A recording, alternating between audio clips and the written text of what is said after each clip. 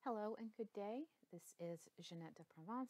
I am going to be doing a tutorial for you today on how to use GIMP, which is a free imaging software to create heraldic images. These are specifically targeted to those folks in the SCA who want to make heraldic digital art. All right, so first question is, what is GIMP and how do I get it? It is simple. It is a free software. You just have to Google GIMP download and that very first item that's going to come up is a link to the download. Now it's figured out that I have Windows, so I can use either one of these to download it, but there are also Linux versions, Mac versions, all that. Um, it does require Windows 7 or greater. Hopefully that's not an issue for anybody. All right, so you download it and then you open it and you see screens like this. So there's nothing going on here right now, right? We want to start from somewhere. I am big on not recreating the wheel. So I love this particular site. It is Book of Traceable Heraldic Art. It has everything from those diapered backgrounds that people would invariably regret using eventually to your complex lines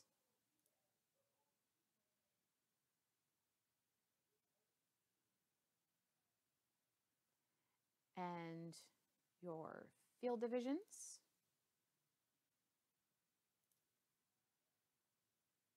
And yes, if anyone ever wants to submit this, just, just say no. All right, sorry, personal opinion. And sorry, here's the field divisions. So if we want per bend, poof, per bend. Pretty much every possible per bend right? So what I'm going to do here is grab a good one um, that is entirely um, opinionated, right? So let's just use this. Now, the, these items are provided on this site in multiple versions. They have a PNG, an SVG, and a PDF. I am, as I'm going through this, expecting a certain amount of computer knowledge and image knowledge. Um, so just list in the comments if you're if I leave you behind and you'd like a simpler video, just let me know. But I am assuming some things here. All right, so while GIMP can import PD PDFs and convert them into usable images, we have the PNG, so we don't need to do that. Um, SVG, for those who are not aware, those are vector images. Um, you cannot work vector images inside GIMP. GIMP is not the tool for that. There are other free tools for that. Um, Inkscape is one of them. It's a free tool, much like GIMP. Uh, has a lot of very similar tools, but you can create and work with vector images directly. What I'm working with here are the PNGs. So I'm going to open that up. I am going to simply save image as. And I have a directory that I call heraldic terms where I save all these things. I'm going to save that there. And these are very good high resolution images that are provided on this page, which is another wonderful thing about the page. So um, if I go to my GIMP, and yes, I know I'm one of those people who has a 100,000 windows open of everything. You don't have to do that. So if you open, you're going to have to go to the right directory. So I'm going to be SCA, Heraldry, Heraldic Terms. And then the nice thing is you can sort this alphabetically or by modified. And if you sort by modified, which I believe is the default when you open it, it will show you the most recent ones that you've touched or downloaded at the top. So I have per pale device. Open that. Right, so now we have that image that we imported on our screen. One of the important things to note about this image is that it has this these sections on both sides that are gray and dark gray checky, those are not actually a part of your image. That is that. That is where your image is transparent, which means there is no color at all. Um, and this is only possible in PNGs. This is why they are not JPEGs. JPEGs don't support transparency. Um, all right, so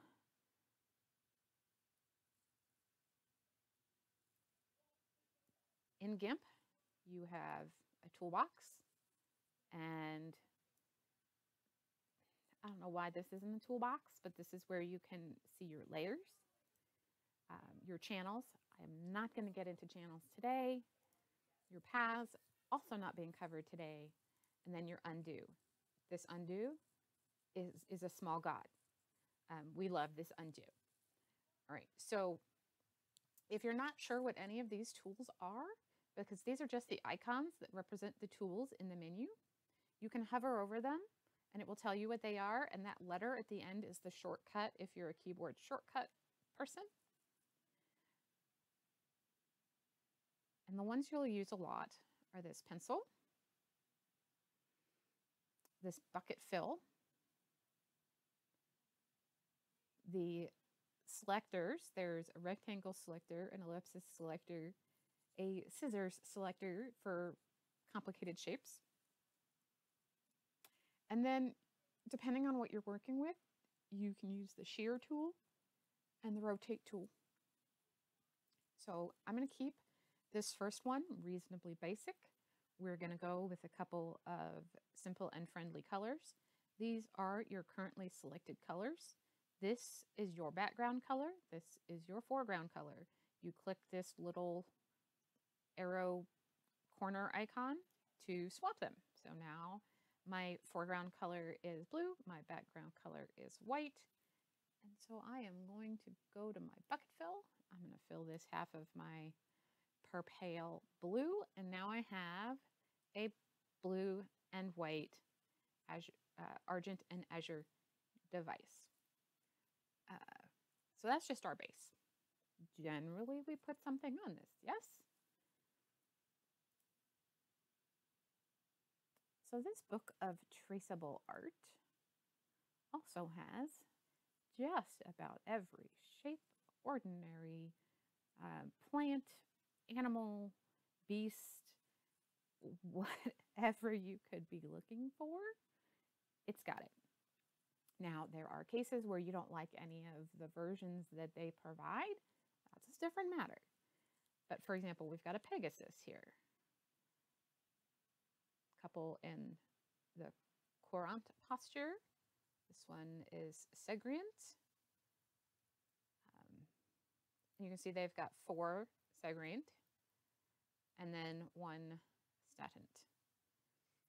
Um, wow. Okay.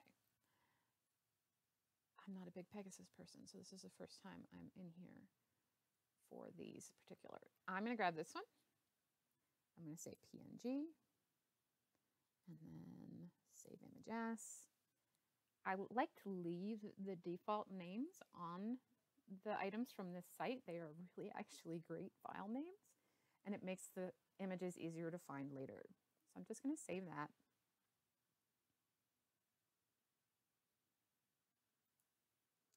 And then I'm going to open it from inside my GIMP. And because I have this sorted by date, comes up at the very top. I'm going to open that. And as you can see, it's opened another window. It doesn't bring that newly opened window to the front. So if I had had this full screen, it would seem as if I hadn't opened anything. But it has. You just need to select it. All right, so what I'm going to do is I am going to change my tool to this move tool so that I don't accidentally bucket fill anything.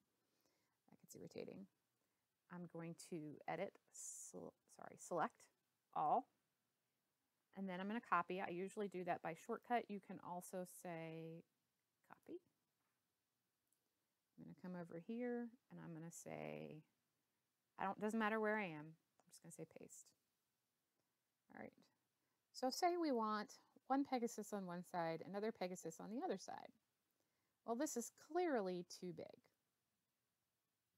We have a couple of options. We can change the whole image. We can change the image before we copy and paste it. The simplest thing to do is to come over here to the menus, see where it says layer. If I look at the layers that are currently existing, I've got that per pale device, which is the image we were working with. And then I've got, it says floating section pasted layer. So currently this Pegasus with its like wobbly dotted outline is its own layer. So until we anchor it.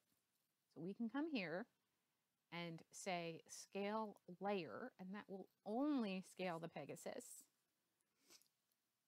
And I like to do these in either centimeters or inches because I can't, off the top of my head, tell what, what amount of pixels that I want. A lot of people aren't that talented. and then I can just change one of these. I want it to be about half, a little bit more than half as small. And you see it automatically changed my height when I clicked out of the width. That's because of this right here. This is a little link. You can break this link and that can do all kinds of fun and exciting things to your image, pushing it in one direction or the other. Generally, yeah, let's not do that. Um, leave them linked and then leave the interpolation cubic. It's one of the best. So then we can just say scale and poof. Now it fits on one side of my per pale. All right, so I'm going to, before I anchor it, I'm going to copy it. And then I'm going to click off of it to anchor it. So now the fancy line around it has gone away. As you can see, we only have one layer. That pasted layer went away. And you can see it here. I've moved it and then I anchored it. This is my undo list. So what I'm going to do is I'm going to paste. And because I copied it after I had resized it, um, it's already the right size. So they're the same size. Now, it's unlikely that they're going to want two Pegasus facing the same direction. What you often see is if I go to, is them facing each other. Sorry, finish the sentence. Um, and what I can do is I can go to layer and then transform. And I can simply say flip horizontally and now it's facing the correct direction. I can scoot it back a little bit. Now, I eyeball this, um, but you can see here there's a ruler on top, a ruler on the side, and wherever my cursor is, you can see that triangle on top and bottom moving to reflect where my cursor is. So you could be super analytical about it and make sure they are exactly the same distance using these rulers from that center line. I eyeball it. And then I'm just going to drop that. Now, you can't put argent on argent, obviously. So this Pegasus is going to have to be a different color. What we often see is that the um, color the other side of the per pale. So I'm just going to change back to my bucket fill and I fill it. But as you can see, it's not the whole thing. So I've got to make sure that I fill each of the areas.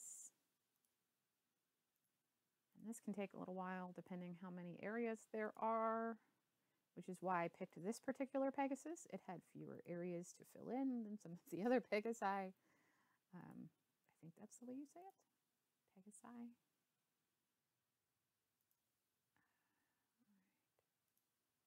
Now, depending how, I don't know, what's the right term, particular that you are, you may decide, well, I don't want black lines on my Pegasus. I want white lines on my Pegasus. So once I have filled it all in blue, I can swap my colors, hover over my outline. And again, these are not all connected. So you would have to do each area. I'm going to undo those because I don't care. I'm not that particular. Um, but you will notice that there are little white lines in between the blue and the black. There's a couple ways to handle that. One, you can go back to the original image and color it. Yeah, that's fun. I colored it white.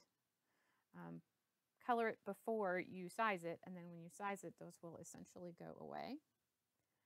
Um, or if you really want to get rid of them, you zoom in more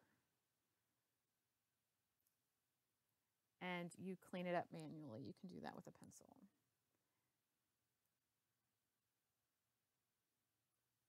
So again, it is all how particular you want to be. But if I zoom out so that I'm, I can see the whole thing. Do I care that there's that white-ish outline around the black? Um, you might. I don't. Um, I probably would make the outline white on this particular one. The black is not showing the lines of the Pegasus very well on with the blue because these are low contrast colors, which is why you can't normally put blue items on a black background. Um, okay, so this is a really super simple um, device and it's done. Uh, so it really is that simple for a lot of people's devices. However, there are always a few tricks and exceptions and fun things. And there's a lot this software is capable of. So I'm just going to go and start another one. Um, oh, real quick. When you save a GIMP image, it will save as an XCF. So I'm going to do, just going to call it class one. I don't want to save it into my heraldic terms. I want to save it into heraldry. And I can save. However, nobody can actually display an XCF unless they have GIMP, etc., etc. What you want to do is export.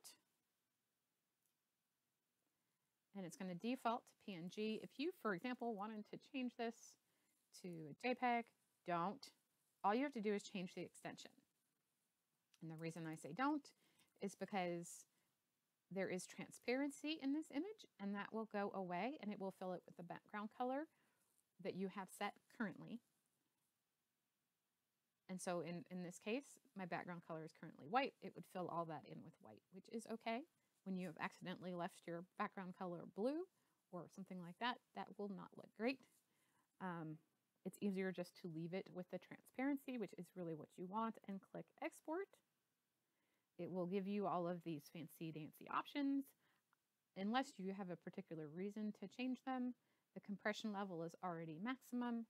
Um, the save background color, resolution, etc., etc., already all there. We're going to export. And then you have your PNG exported and it's in the same, in that directory that you told it to go into. So I'm going to create a new one. Um, oops, no, I'm going to open. I'm going to open another um, device. Mm -hmm, not that one. Give me my computer back. There we go.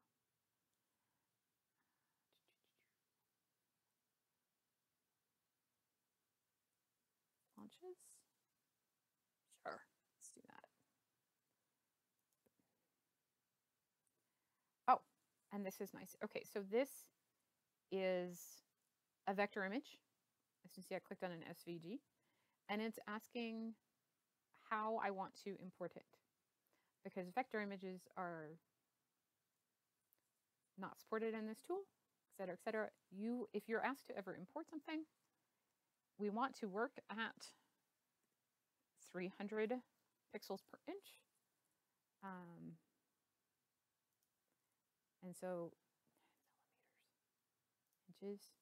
This is by default 1.2 by this it's not really what we want to work with let's say 6 um, All right, so that gives us a slightly better ratio. We're going to say okay. Slightly better size, not ratio. The ratio didn't change. All right, so as you can see here, what I've got are two um, flanches that are white, a transparent background, um, and transparent uh, transparent center section and a transparent background. All right, so let's work in a different color. Um, let's make the center gold. So I'm to bucket fill the center. All right. So now this is my base for my item. And I'm going to click off of my fill tool. I'm very careful. I have many times auto-filled something and had to, I mean, it's not too painful with the undo list right there, but you're good. Um, all right, so what I'm going to do is I'm going to create a new layer. Um, let's do Acviz. And other than the name of the layer, you probably just want to leave all the defaults in place. It is essentially copying from the visible layer, which is what you want. Okay, okay. All right, so now I have a new layer. So if I go here, I have, if I hide this layer, which is the flanches, it looks like I've got nothing. Um, whichever layer has this little white outline is the layer you're actually working in. That can matter. So if I do this, it doesn't matter if I have that second layer, I'm not actually putting anything on it. So I want to be on that new layer. I'm going to open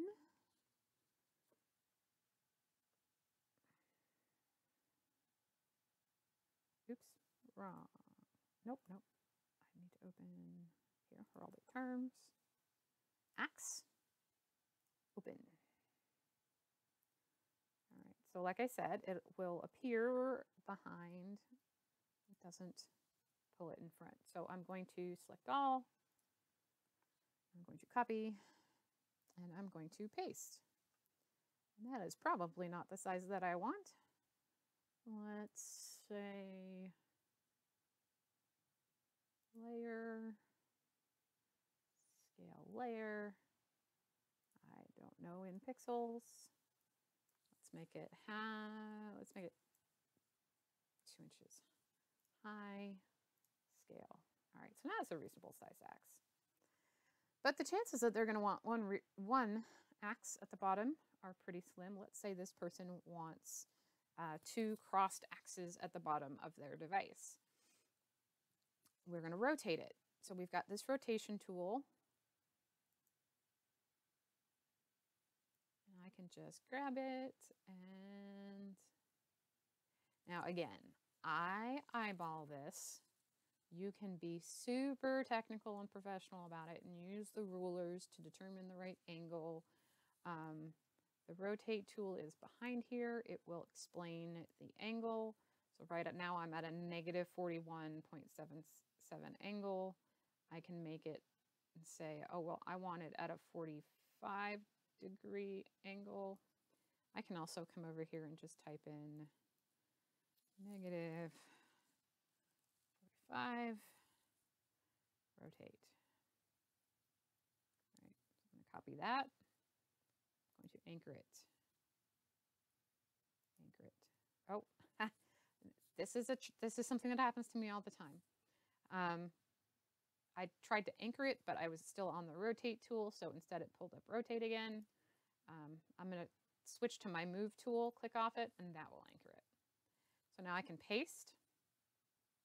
And now I'm going to, um, instead of rotate, I'm going to go the easier route and say I want to transform my layer. And instead of doing arbitrary rotation, which is what I had just done, I'm going to flip horizontally and now it is placing facing 45 degrees in the other direction and I can just cross them.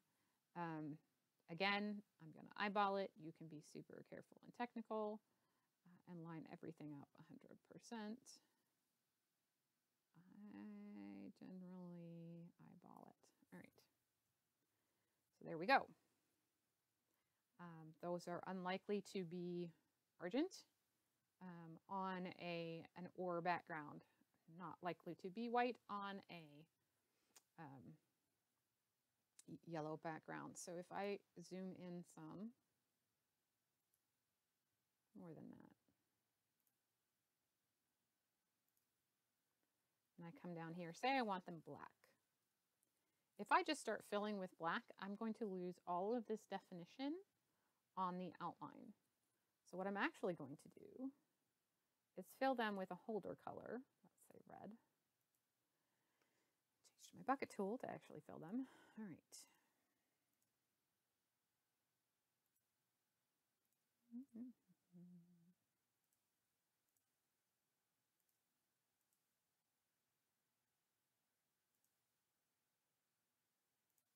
And you can zoom in more if you want to be careful about clicking. Sometimes these little sections are awfully tiny and it's hard to make sure you're clicking in the right place.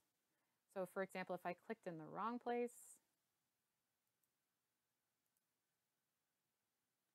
poof. Now it did the entire background and not that center portion of the flanche because I'm not actually on that layer. I'm on this layer where there those lines don't exist. So what I'm actually going to do is come here to the undos. I'm going to undo that last bucket fill, and then I can be more careful about it and click in the correct area. Now, the reason that I did that is because sometimes when you try and do the outline white, if you haven't already filled it in with something, you will run into an issue of the outline and the item all becoming one thing and one color. And then when you try to fill them, you will still lose that line definition. Um, yes, let's do it with the white. Why is it not do? I am clicking on details. Oh my God, this is not going to behave, is it? Um, view.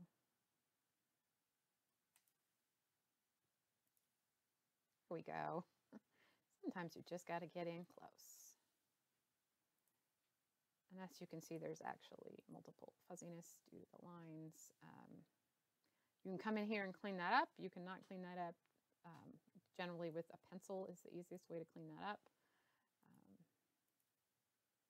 oh, for the love of Pete. That doesn't want autofill Go down here. The, the pixels have to be connected for the autofill to work. Um, so if it's individual pixels and diagonals from each other, you're not going to get a successful bucket fill. Um, so yeah. And then I'm to do the same over here. And again, I run into the same issue there. I'll go back to that in a moment. And this will probably have yeah, the same issue here.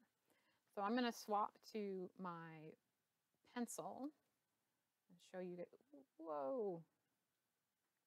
Let's zoom back out.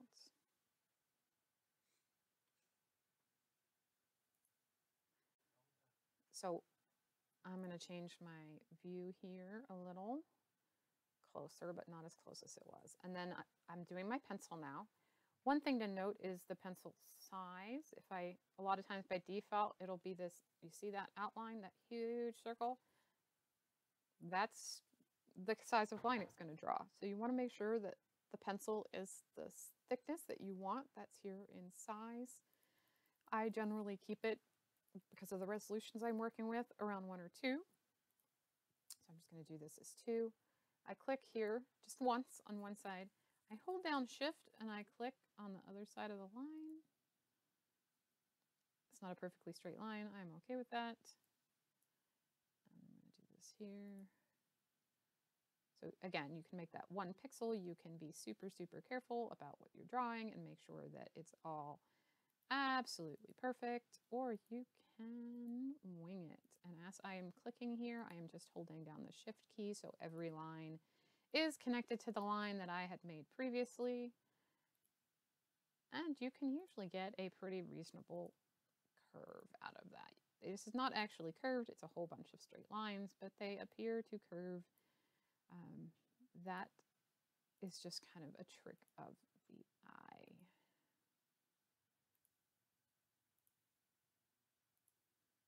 Oops. See, I didn't follow it very well right there. Okay, so I'm just going to call that.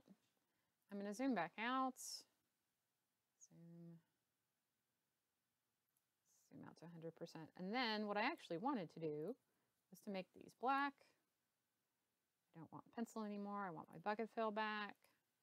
Bucket fill, bucket fill, bucket fill, bucket fill. You can see right up here is a line I failed to make white. Um, there's a tiny white outline around it. That's not really what we want. I'm not going to worry about it for this demonstration, but you get my point. All right, so here we go. Now we've got black axes on a yellow background, and the outline is white, which helps us see them a little better we still have that definition of the handle and the axe head and that sort of thing. All right. So then let's say there's a, an animal or something that's supposed to go here.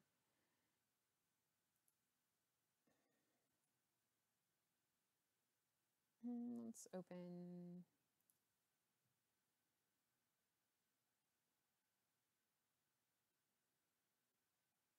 hmm, butterfly. Let's do a butterfly. We love butterflies. So again, it opens the window, but it doesn't make it the active window. So you have to go to it. I'm going to select all. Actually, I'm going to color this first. We're going to color this um, green. Let's color it green.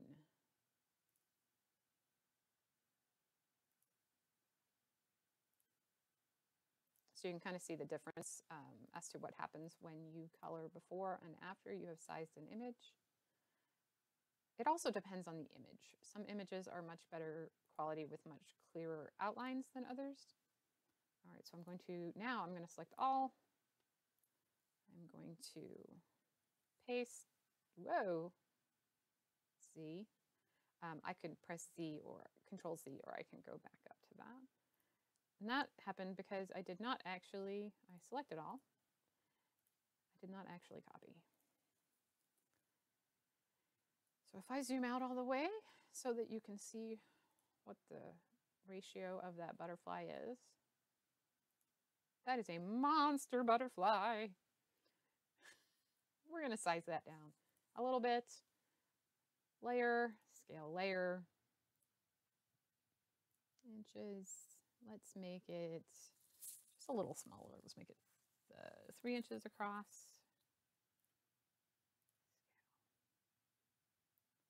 Again, I'm going to click off my bucket fill. There. All right. So you see we don't have as much of that little white line, but we can't really see it down here either because of the scale. I go in, say to 100%. There is a very small white line in between, or gray even, line in between the white and the black. The problem is if you're doing things like that, which I do, you need to make sure when you close this, you discard changes so that you don't end up with a green butterfly in your images directory instead of the default butterfly. So that is a slightly more complicated one. I've got two layers. So I've got my background. I've got my charges. I could have done each charge as a separate layer. Um, I can actually, once I have something in its own layer, I can move only that layer. So if I lock this one, select this one and drag it I drag the entirety of the layer, not just the butterfly, right? I'm dragging the layer. So I can reposition if, for example, I wanted that a little higher, I could drag it up. And it's a little hard to see the changes. So if I go view, 50%, dragging whole layer. If I want that butterfly right up against the top, it's right there. If I want it in the middle, it's right there. Okay. And I can also go, ah, I didn't want to do that. And I go back and it undoes it. Right? So one last thing I want to show you is a case where you don't have like they don't have an image that you like. Like you don't like any of the pegasus that they have um, but somebody took a picture of one and you really like it. But the picture isn't perfect. Um, the scan isn't perfect whatever. Um, so i'm going to open this. This was provided for me. Oh this is nice. Okay so it's going to ask me how I want this converted. I usually just leave this as all defaults and convert. If I open that up, I have it here. It is pretty smart. It can kind of figure out what you want to do. Um, it kept my move tool. Sometimes if you're doing that in that new image, it will default to here this GEGL operation tool. If I swap to that, I say, okay, I try to do anything, this pops up. So if you're stuck in a, like, I can't do anything, I'm keep getting this stupid window every time I try to do anything, you cancel out of that. You try to pull up your toolbox and you select something else in your toolbox. You can also select something else from your tools menu selection tools, paint tools, transform tools. I like the move as a generic thing. Does that make sense? All right, so now I'm going to do something quote unquote fancy. And you see, this isn't straight. This is a photo that wasn't 100% straight on. This is supposed to be a straight horizontal line at the top. It is not. I am going to shear the layer. So I'm going to grab it adjust it. Click shear. Now that is straight. This is more straight. And you're like, okay, but what if I only want this double-headed dragon? All right, I am going to create a new layer. I know I didn't change the name, so it's called axes. That's kind of irrelevant. Make sure that I'm working on that new layer. It is highlighted by default, but I always like to double check. I'm going to zoom in a lot, so 400%. And then you can see if I just tried to crop this out, those aren't very sharp lines. What I'm going to do is I'm going to make my pencil tool black. And I'm going to come here and I'm on my new layer. I'm not on the layer with the dragon. And I'm going to simply, using shift, start redrawing this puppy. So shift click, and I'm just going to follow the outline. And then when I'm done and I have my whole double-headed dragon, I hide the background, I save this layer off, and I have a beautiful crisp line drawing, digital line drawing of my art. So that is a super basic overview of how to use GIMP to manipulate and create heraldic images. Um, I hope it was helpful. If you would like any more information or anything I left out or anything that was too complicated, please leave a note in the comments. Thank you so much.